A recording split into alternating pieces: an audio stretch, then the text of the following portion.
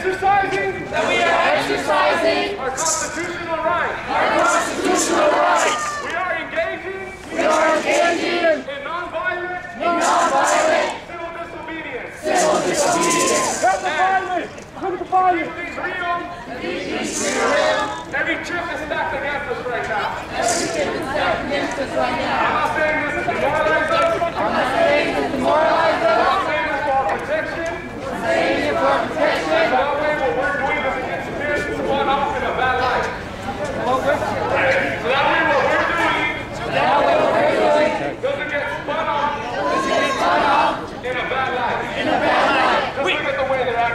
Think about your fucking kids. We need to create the narrative Swimming in game. that we have the right We have the right to public education.